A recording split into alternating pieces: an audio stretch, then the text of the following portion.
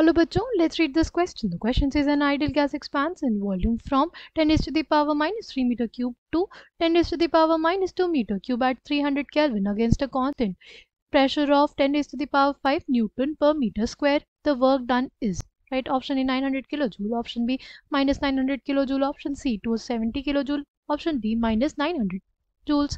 Key concept for this question is key concept for this question is work done जो work done का basic formula हमारे पास होता है, वो क्या होता है? होता है work is equal to minus P external D V या उसको लिख सकते हैं W is equal to minus P external into delta V P external यानी एक्सटर्नल प्रेशर और डेल्टा वी हमारे पास क्या होता है? Delta V change of volume ठीक? उसको हम लोग लिखेंगे V two minus V one V two क्या है? फाइनल वॉल्यूम वी वन क्या होगा? इनिशियल वॉल्यूम ठीक है? फाइनल वॉल्यूम हमारे पास क्या है? Ten raise to the power minus two initial volume क्या है? Ten raise to the power minus three ठीक? पी एक्सटर्नल क्या है हमारे पास? पी एक्सटर्नल है। Ten raise to the power five newton per metre square ठीक? क्या हो जाएगा हमारे पास? Is equals to minus ten raise to the power five newton per metre square V two V two कितना हमारे पास ten raise to the power minus two minus ten raise to the power minus three right ये किसमें होगा? Metre cube में होगा। ठीक? तो क्या आ जाएगा हमारे पास? Minus ten raise to the power five newton metre.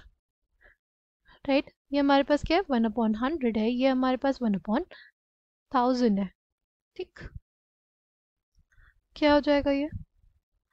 देखो, इसको फर्दर सॉल्व करेंगे। तो हमारे पास आ जाएगा minus ten raise to the power five ten minus one by thousand newton metre ठीक? ये ten raise to the power three है ten raise to the power two ठीक?